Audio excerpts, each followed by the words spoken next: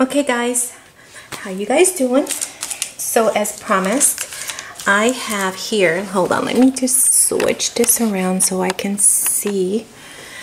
Um, how you guys doing? All right, so what I have here is a tutorial on how I um, coffee dye uh, papers using these plastic placemats um, to get this pretty pattern. And I will show you. I am going to leave the link below on Amazon um, which is where I got these uh, plastic doilies. And it was a set of six. And they weren't really bad, badly priced because they're like durable. So I'm gonna show you how I do it. Uh, but I'm not gonna do it with coffee because I ran out of my strong instant coffee that I use and it doesn't work with my Keurig coffee that I use to drink. Oh, before that, let me give you a little another little tip. I use I buy a lot of white lace. I do buy, you know, color lace too, but I use a lot of white because I like to dye my own. And I use my, you know, my inks and my oxides and stuff.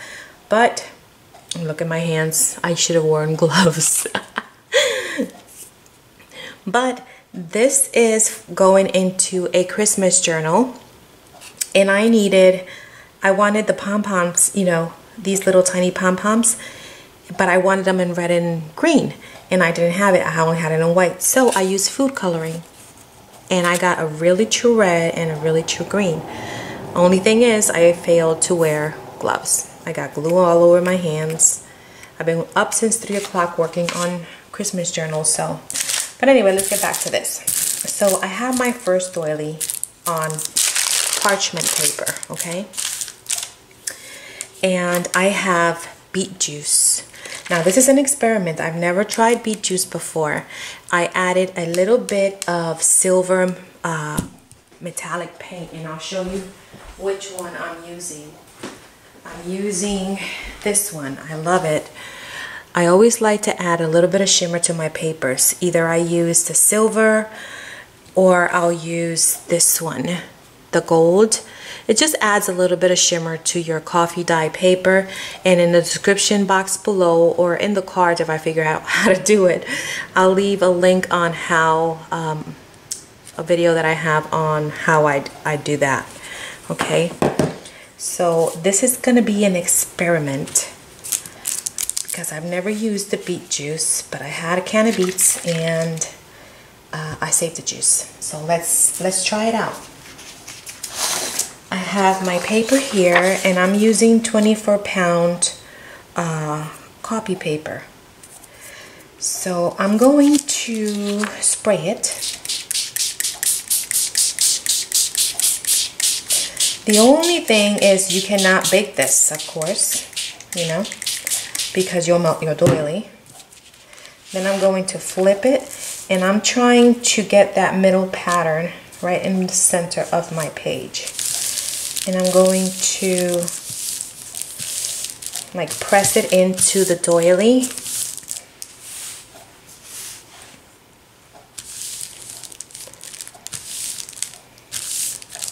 and then I'm to soak it again.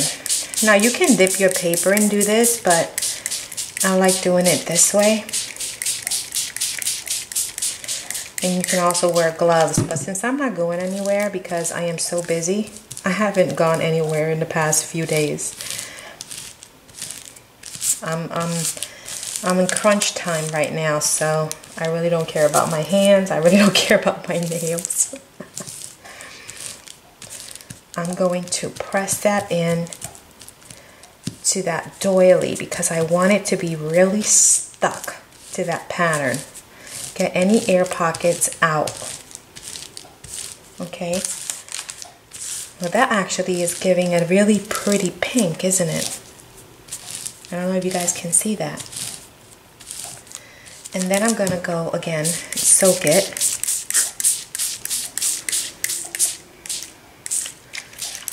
and I'm gonna put my next doily right on top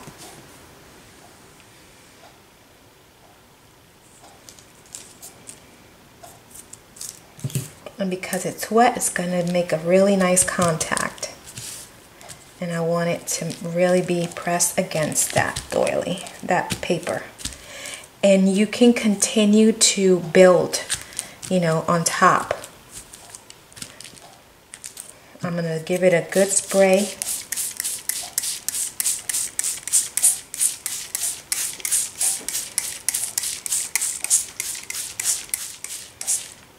okay.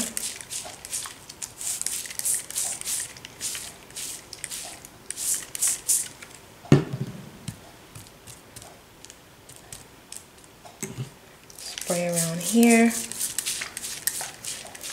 And I'm going to place my next page on top of that one. I don't put more than two pages because it'll take too long to dry in my opinion. And this is best if you um, if you leave it overnight and just let it dry overnight because the colors will take really good and the doily will stick to it really good.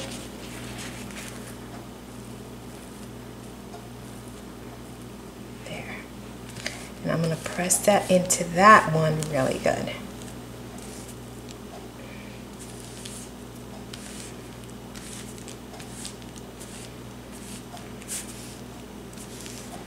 Now you'll always have like one side that takes better than the other. But it'll still be pretty. Get all the air pockets out. Because you want that paper to really make contact with that doily. Wet it again. Because now we'll place the other doily right on top and we want it to be nice and wet, right?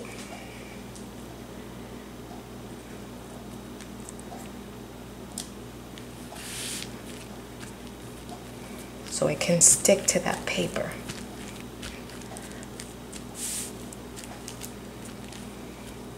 I hope I was in frame. Okay. And that's as far as I go.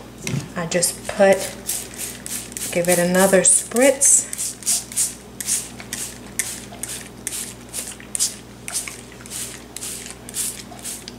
And leave it.